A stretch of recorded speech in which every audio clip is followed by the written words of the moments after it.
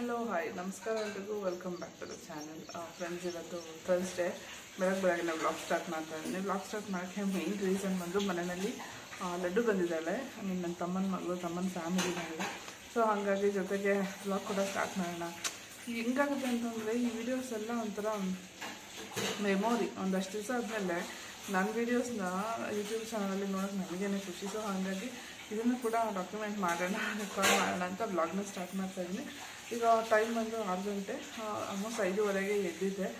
ಸ್ವಲ್ಪ ಹಂಗೆ ಹಿಂಗೆ ಕುತ್ಕೊಂಡು ಟೈಮ್ ಪಾಸ್ ಮಾಡಿ ಕಿಚನಿಗೆ ಬರೋ ಅಷ್ಟೊತ್ತಿಗೆ ಆರು ಗಂಟೆ ಆಗೋಯ್ತು. ಸೊ ಇವತ್ತು ಮಿಲ್ಲೆಟ್ಸ್ದು ಮಿಲ್ಲೆಟ್ದು ಇದು ಮಾಡೋಣ ಅಂತ ಅಂದ್ಕೊಂಡಿದ್ದೀನಿ ಏನಂತಾರೆ ಮಿಲ್ಲೆಟ್ದು ಮಿಲ್ಲೆಟ್ ಬಿಸಿಬೇಳೆ ಬಾತ್ ಮಾಡೋಣ ಅಂತ ಅಂದ್ಕೊಂಡಿದ್ದೀನಿ ವೆಜಿಟೇಬಲ್ಸ್ ಎಲ್ಲ ನೆನ್ನೆ ಕಟ್ ಮಾಡಿ ಇಟ್ಟಿದ್ದೆ. ಸೊ ಇವಾಗ ಅದೇನಿದೆ ಅದನ್ನು ಮುಗಿಸ್ಬಿಟ್ಟು ಮುಗಿಸ್ಬಿಟ್ಟು ಯೋಹನ್ನ ಏಳಿಸ್ಬೇಕು ಸ್ಕೂಲಿಗೆ ಕಳಿಸ್ಬೇಕು ಮಗುಗೆ. ಸೊ ಹಾಗಾಗಿ ವ್ಲಾಗ್ನ ಸ್ಟಾರ್ಟ್ ಮಾಡ್ತಾ ಹಾಗೆ, ದಿನ ಕೂಡ ಸ್ಟಾರ್ಟ್ ಮಾಡೋಣ. ಸೊ ಎಲ್ರಿಗೂ ವೆಲ್ಕಮ್ ಬ್ಯಾಕ್ ಟು ಚಾನಲ್ ಬಿಸಿಬೇಳೆ ಭಾತ್ಗೆ ಎಲ್ಲ ಆಲ್ಮೋಸ್ಟ್ ರೆಡಿ ಮಾಡ್ಕೊತಾ ಇದ್ದೀನಿ ಅಂತ ಹೇಳ್ಬೋದು. ಆ್ಯಕ್ಚುಲಿ ಬೆಳಗ್ಗೆ ಟೈಮ್ ತುಂಬ ಹರಿ ಇರುತ್ತೆ. ಮಕ್ಕಳು ಸ್ಕೂಲಿಗೆ ರೆಡಿ ಮಾಡಬೇಕು. ಅವ್ರು ನೇಳ್ಸೋ ಅಷ್ಟೊತ್ತಿಗೆ ಬ್ರೇಕ್ಫಾಸ್ಟ್ ಎಲ್ಲ ರೆಡಿ ಆಗಿರಬೇಕು. ಬಾಗಿಲು ತೊಳಿಬೇಕು. ಸೊ ಈ ಥರ ತುಂಬ ಕೆಲಸಗಳಿರುತ್ತೆ. ಎಲ್ಲನೂ ಅಲ್ಲೆಲ್ಲೇ ಹರಡ್ಕೊಂಡ್ಬಿಟ್ಟಿರ್ತೀನಿ ನಾನು ಶೆಲ್ಫ್ ಮೇಲೆ ಅಂತ ಹೇಳ್ಬೋದು. ಆಮೇಲೆ ಅವರು ಮೇಡ್ ಬರ್ತಾರೆ. ಅವ್ರು ಅದನ್ನೆಲ್ಲ ಕ್ಲೀನ್ ಮಾಡ್ತಾರೆ. ಸಪ್ರೇಟಾಗಿ ಮಾಡೋದಿಲ್ಲ. ಇರೋ ಮಸಾಲೆ ಸ್ವಲ್ಪ ಅಡ್ಜಸ್ಟ್ಮೆಂಟ್ ಮಾಡ್ತೀನಿ ಅಂತ ಹೇಳ್ಬೋದು.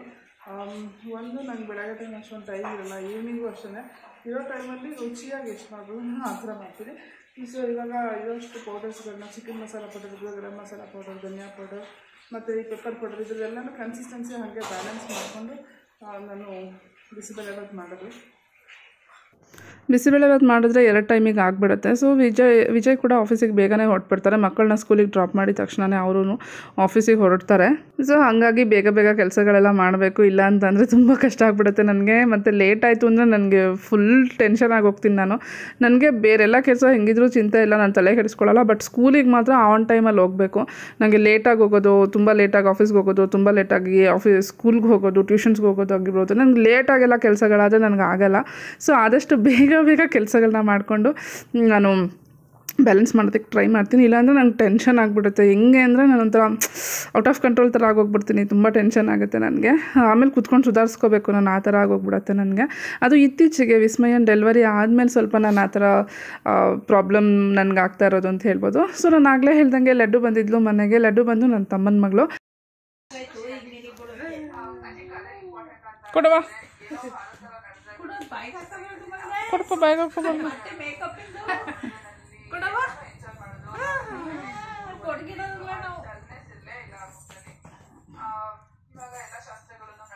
ಮುಹೂರ್ತ ಶಾಸ್ತ್ರ. ಆ, ಈ ಟೈಮ್ನಲ್ಲಿ ನಾವು ಮನೆಗೆ ಗೆಸ್ಟ್ ಬಂದರೆ ಮನೆ ತುಂಬ್ದಂಗಿರುತ್ತೆ ನನಗಂತೂ ತುಂಬಾ ಖುಷಿ. ಸ್ಮಯ ಬಂದಾಗಲೂ ಅಷ್ಟೇ, ಲಡ್ಡು ಬಂದಾಗ ಅಷ್ಟೇ, ವೈನಿಧಿ ಬಂದಾಗ ಮಕ್ಕಳು ಮನೆಯಲ್ಲಿ ಇದ್ಬಿಟ್ರೆ ಫುಲ್ ಖುಷಿ ಖುಷಿಯಾಗಿರ್ತಾರೆ. ತುಂಬ ಚೆನ್ನಾಗಿ ಅನಿಸ್ತಾ ಇರುತ್ತೆ ನಂಗೆ. ಆ ವೈಬೇ ತುಂಬ ಚೆಂದ. ಸೊ ಅಮ್ಮನೂ ಇದ್ದರು ಲಡ್ಡುನ ಆಟ ಆಡಿಸ್ಕೊಂಡು ಅವತ್ತಿನ ದಿವಸ ನಾವು ಹಂಗೆ ಕಳೆದ್ಬಿಟ್ವಿ ಅಂತ ಹೇಳ್ಬೋದು. ಮಗು ಮನೆಯಲ್ಲಿ ಇರೋದ್ರಿಂದ ಎಲ್ಲರೂ ಬ್ಯುಸಿನೇ ಸ್ಮಯ ಐ ಮೀನ್ ವಿಸ್ಮಯ ಯೋಹಾನ್ ಎಲ್ಲರೂ ಬ್ಯುಸಿನೇ ಇದ್ವಿ. ಅದಾದಮೇಲೆ ನಾನು ಲಂಚ್ಗೆ ಅಂತ ಪ್ರಿಪೇರ್ ಮಾಡ್ತಾ ಇದ್ದೀನಿ. ಸೊ ಅವತ್ತು ಲಂಚ್ ಕೂಡ ಅಷ್ಟೇ ಸಿಂಪಲಾಗಿ ಏನೋ ಒಂದು ಮಾಡಿಕೊಂಡು ದ ಬನಶಂಕರಮ್ಮನವ್ರ ದೇವಸ್ಥಾನಕ್ಕೆ ಹೋಗಬೇಕು ಅಂತ ಪ್ಲ್ಯಾನ್ ಮಾಡ್ಕೊಂಡಿದ್ವಿ. ಅಮ್ಮಂಗೆ ನೆಗಡಿ ಆಗಿತ್ತು. ಸೊ ಹಾಗಾಗಿ ಸ್ವಲ್ಪ ಶುಂಠಿ ಕಷಾಯ ಮಾಡ್ಕೊಳ್ಳೋಣ ಅಂತ ಅಂದ್ಬಿಟ್ಟು ಸುನಿ ಕೂಡ ನೆಗಡಿ ಆಗಿತ್ತು.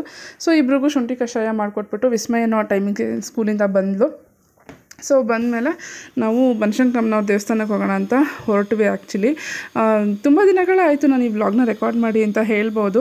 ಸೊ ಬಟ್ ಹೇಳಿದ್ನಲ್ಲ ಕಂಟೆಂಟ್ ಇದೆ ಎಡಿಟಿಂಗಿಗೆ ಟೈಮ್ ಇಲ್ಲ. ಆದಷ್ಟು ಟೈಮ್ ಸಿಕ್ಕಿದಾಗ ಎಡಿಟ್ ಮಾಡಿಬಿಟ್ಟು ಹಾಕೋಣ ಅಂತ ಅಂದ್ಕೊಂಡಿದ್ದೀನಿ ಎಷ್ಟೊಂದು ಸಲ ಹೇಳಿದ್ದೀನಿ ಇನ್ನು ಮುಂದೆ ನಾನು ಆ್ಯಕ್ಟಿವ್ ಆಗಿರ್ತೀನಿ ಆ್ಯಕ್ಟಿವ್ ಆಗಿರ್ತೀನಿ ಬಟ್ ಕಷ್ಟ ಆಗುತ್ತೆ ಎಲ್ಲ ಬ್ಯಾಲೆನ್ಸ್ ಮಾಡೋಕ್ಕೆ.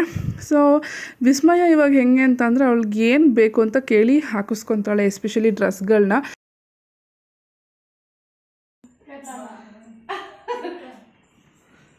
ಹಾಯ್ ಲಡ್ಡು ಹಾಯ್ ಲಡ್ಡು ಮಾಡು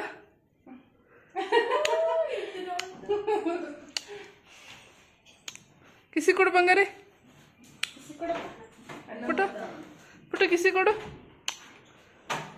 ओ ए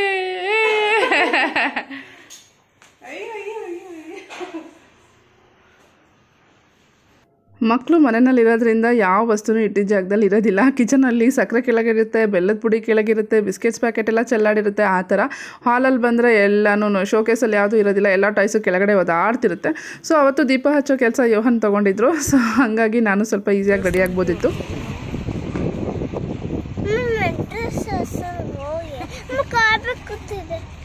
ಕಾಯಿ.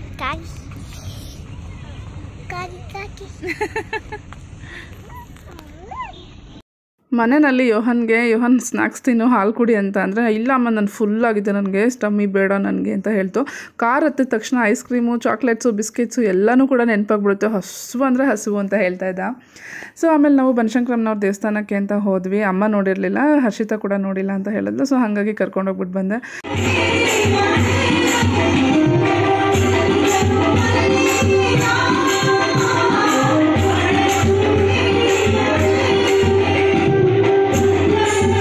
ದೇವಸ್ಥಾನಕ್ಕೆ ಹೋದ ತಕ್ಷಣ ವಿಸ್ಮಯಂಗೆ ಫುಲ್ ಖುಷಿ, ಎಲ್ಲ ಹೊರಗಡೆ ಕರ್ಕೊಂಡ್ಬಂದ್ಬಿಟ್ಟಿದ್ದಾರೆ ಅಮ್ಮ ಅಂತ ಪಾಪ ಮಗು ನಾನು ಬೆಳಗ್ಗೆ ಆಫೀಸಿಗೆ ಅವಳನ್ನ ಸ್ಕೂಲಿಗೆ ಕಳಿಸ್ಬಿಟ್ಟು ನಾನು ಆಫೀಸಿಗೆ ಹೊರಟ್ರೆ ಇನ್ನು ಸಂಜೆ ನಾನು ಬರೋದು ಆರು ಗಂಟೆ ಆಗುತ್ತೆ.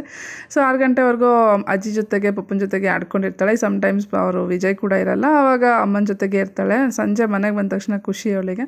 ಆ ಟೈಮ್ ಸಿಕ್ಕಿದಾಗ ನಾನು ಕೂಡ ಹೊರಗಡೆ ಕರ್ಕೊಂಡು ಹೋಗ್ಬಿಟ್ಟು ಬರ್ತಾ ಇರ್ತೀನಿ. ಸೊ ಬನಶಂಕರಮ್ಮನ ದೇವಸ್ಥಾನಕ್ಕೆ ನಾನು ಯೂಶಲಿ ಹೋಗ್ತಾನೆ ಇರ್ತೀನಿ. ನಿಮಗೂ ಗೊತ್ತಿರುತ್ತೆ, ನಾನು ಆದಷ್ಟು ಫ್ರೈಡೇಸ್ ಅಥವಾ ಟ್ಯೂಸ್ಡೇಸು ಸಂಡೇಸು ಹೋಗ್ತಾನೆ ಇರ್ತೀನಿ. ಅಲ್ಲಿ ಹೋದರೆ ನಂಗೆ ಒಂಥರ ಸಮಾಧಾನ ಆಗುತ್ತೆ. ಸೊ ಹಾಗಾಗಿ ವಿಸ್ಮಯ ಆರಾಮಾಗಿ ಆಟ ಆಡ್ಕೊಂಡಿದ್ಲು. ಸೊ ನಾವು ಹೋದಾಗ ಅಲ್ಲಿ ಅನ್ನ ಸಂತರ್ಪಣೆ ಕೂಡ ನಡೀತಾ ಇತ್ತು. ನಾನು ಎಷ್ಟೊಂದು ಸಲ ಆಫೀಸಿಂದ ದೇವಸ್ಥಾನಕ್ಕೆ ಹೋದಾಗ ಅಲ್ಲೇ ಊಟ ಮಾಡ್ಕೊಂಡು ಹೋಗಿದ್ದು ಇದೆ ಶುಕ್ರವಾರ ಟೈಮಲ್ಲಿ, ಮಂಗಳವಾರ ಟೈಮಲ್ಲಿ. ಸೊ ಅವತ್ತು ಊಟ ಕೂಡ ಇತ್ತು. ಪ್ರಸಾದ ಸಿಕ್ಕಾಗ ಮಾಡಬೇಕಲ್ಲ ಊಟ. ಸೊ ಹಾಗಾಗಿ ನಾವು ಕೂಡ ಸೆವೆನ್ ಥರ್ಟಿ ಆಗಿತ್ತು ನಾವು ಅಲ್ಲಿ ರೀಚ್ ಆಗಿ ದೇವ್ರ ದರ್ಶನ ಎಲ್ಲ ಮುಗಿಸಿ ಈಚೆಗೆ ಬಂದಾಗ. ಸೊ ಟಿಫನ್ ಐ ಮೀನ್ ಊಟ ಮುಗಿಸ್ಕೊಂಡು ಅಲ್ಲೇ ಅಲ್ಲಿಂದ ನಾವು ಮೆಟ್ರೋ ಹತ್ಕೊಂಡ್ವಿ. ಮಕ್ಕಳು ಮೆಟ್ರೋಗೆ ಹೋಗೋಣ ಅಂತ ಹೇಳ್ತಾ ಇದ್ರು ಹಾಗಾಗಿ. ವಿಸ್ಮಯ, ಯೋಹನ್ ಜೊತೆನಲ್ಲಿದ್ದರು ಎಷ್ಟು ಕಿತ್ತಾಡ್ತಾರೆ ಅಂದರೆ ಒಂದೊಂದ್ಸಲ ನಾನು ಸುಮ್ಮನೆ ಕೂತ್ಬಿಡ್ತೀನಿ. ಏನಾದರೂ ಮಾಡ್ಕೊಳ್ಳಿ ನೀವು ಅಂತ. ಅಣ್ಣ, ತಂಗಿ, ಅಕ್ಕ, ತಂಗಿ, ತಮ್ಮ ಇರೋರಿಗೆ ಅನುಭವ ಇದ್ದೇ ಇರುತ್ತೆ ಎರಡು ಮಕ್ಕಳಿದ್ದಾಗ